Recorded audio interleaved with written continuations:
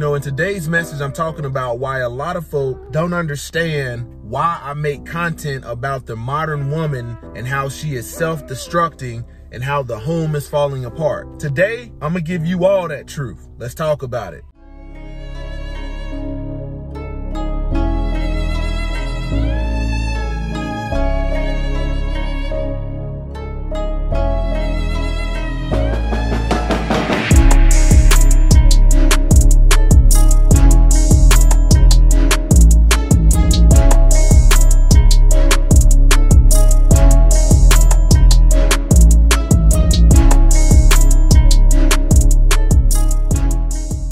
Glory to the Most High Yah Shalom. Thank you for tuning in to another Righteous Spiritful episode. I'm back at it in the trenches.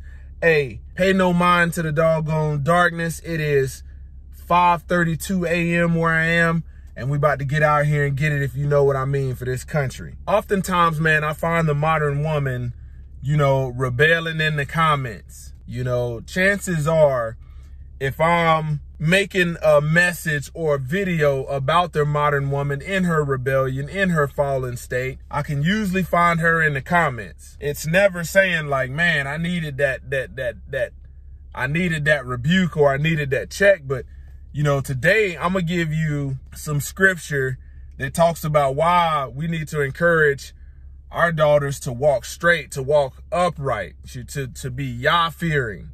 You know what I'm saying? To be the women of the scriptures that the Most High Yah was pleased with. Because if you leave a woman by herself, some foolishness is going to jump off. You see what I'm saying? If you leave her without a symbol of authority over her head, some foolishness is going to jump off. And that's, that's via Yah's word. A woman ought to have a symbol authority on her head. You see what I'm saying? Biblical order. Christ is the head of man. Man is the head of woman. I know when I say that, people automatically think like, you know, it's it's some unrighteous control. No, this is in the Messiah. This is in righteousness. So today we're reading Ecclesiasticus chapter 26. Ecclesiasticus known as the book of Sirach in the Apocryphers.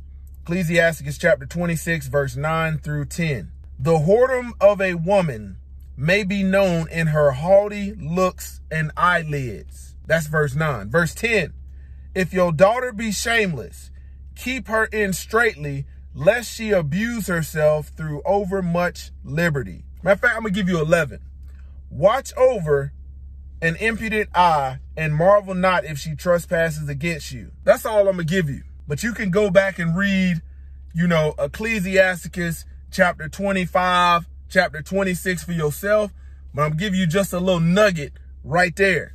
So when we talk about the modern woman being rebellious, not, you know, being qualified to lead because she don't have a symbol of authority on her head and she gonna lead women astray. People don't realize how deep scripture goes in the wisdom of the word that he gave us. In the same context, I'm gonna tell you like, if you as a woman have a daughter and you are fast and rebellious and worldly, your daughter gonna fall behind you in the same manner.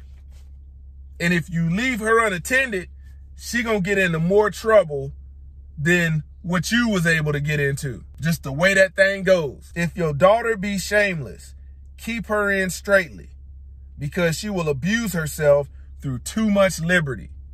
But what what do we got these modern women out here fighting for? Freedom, my body, my choice.